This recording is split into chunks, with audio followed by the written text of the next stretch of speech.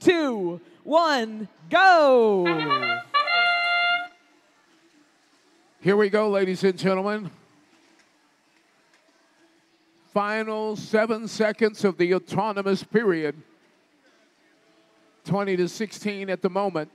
Score changes quickly, 30 to 24. Red Alliance coming out on top at the end of autonomous. We're in the teleoperated period now. Drivers are in the control.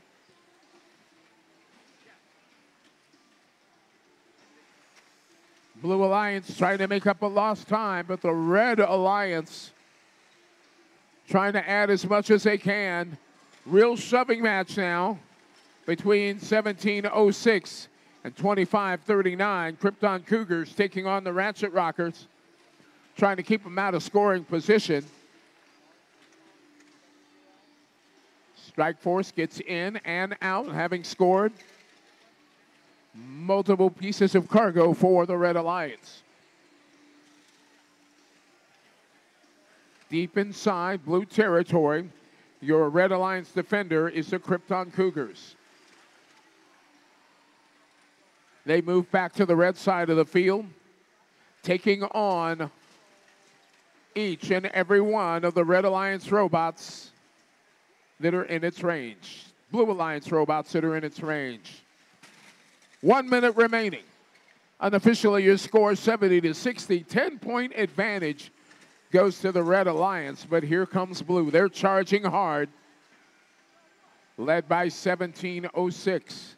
Powerful defender, but also an incredible shooter. Robot has a twin intake, reducing its cycling times.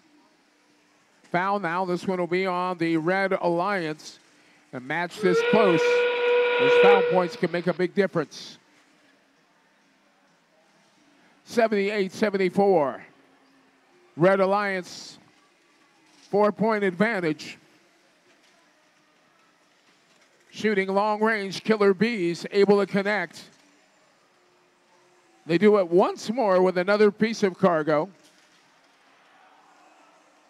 before making their way to the hangar. Blue Alliance getting hung up. They're in the middle of a climb, lost their grip, then lost their ability to climb any farther. Red Alliance, however, completes the match with two traversal climbers.